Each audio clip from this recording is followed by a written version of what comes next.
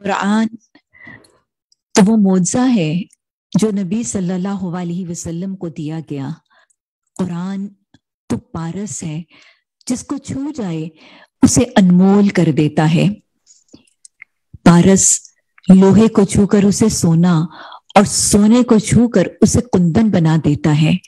बस यही कुरान है और यही इसका एजाज और मुआवजा है।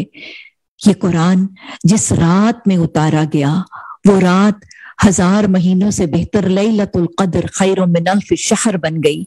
जिस महीने में उतारा गया, वो महीना शहर अजीम शहर मुबारकतन बन गया।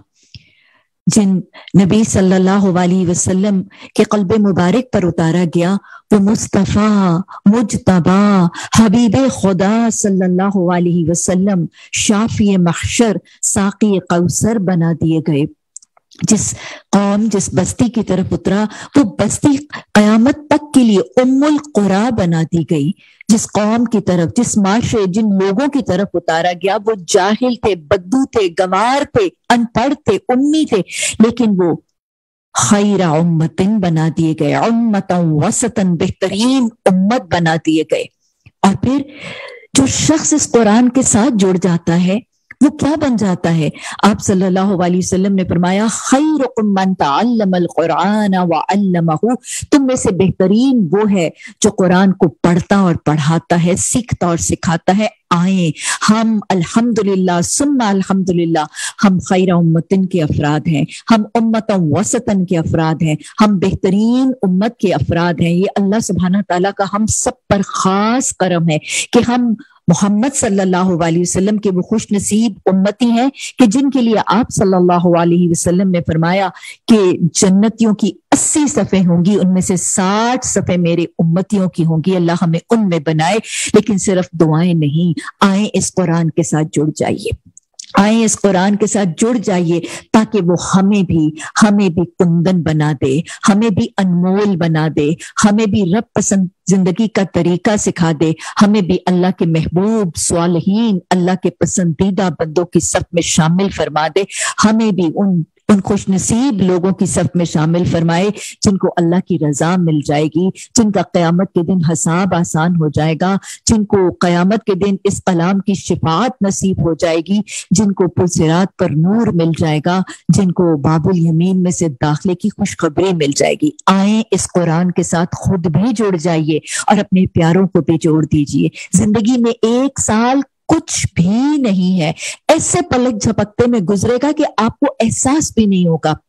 किसी शक्ल में किसी ना किसी कुरान या हदीस कोर्स का ज़रूर इंतखाब कर लीजिए और ज़िंदगी की मुखलत अमल से पहले पहले वह वह खैर मम्मा यजमाउन समेटने की तरफ़ चल निकलिए। अल्लाह आपका मुखाफिज कुरान पढ़ना चाहती हैं, सिर्फ़ हदीस या तजवीद या ग्रामर, कोई एक कोर्स स्पेसिफिकली कुछ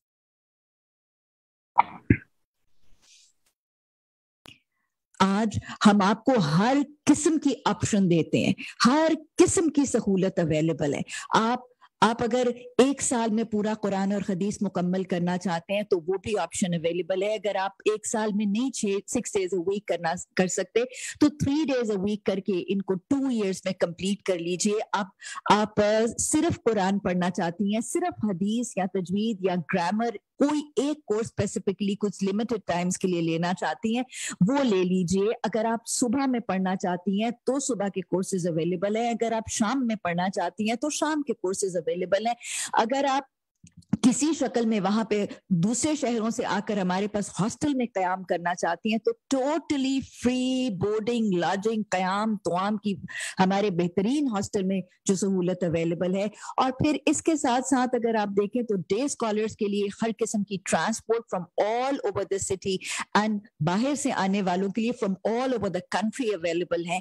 और फिर जो वो बच्चियाँ या खातन जो नहीं आ सकती हैं, उनके लिए हमारे पास हर सोशल मीडिया के प्लेटफॉर्म के ऊपर लाइव ब्रॉडकास्ट के ज़रिए ये सारे कोर्सेज अवेलेबल है। अपने घर के बेडरूम में, अपने लाउंज के कंफर्टेबल सोफे के ऊपर बैठ के सीख लीजिए, लेकिन सीखिए तो सही। उर्दू में सीखना चाहती हैं, इंग्लिश में पढ़ना चाहती हैं, किसी लैंग्वेज में अपने लिए, अपने बच्चों को पढ़ाना चाहती हैं, अपने किसी एज ग्रुप को पढ़ाना चाहती हैं, सब सहूलतें मुयसर हैं। इस कुरान की तालीम के साथ जुड़ जाइए, कहीं हमारा नाम उम्मियों की सफ में शामिल ना हो जाए।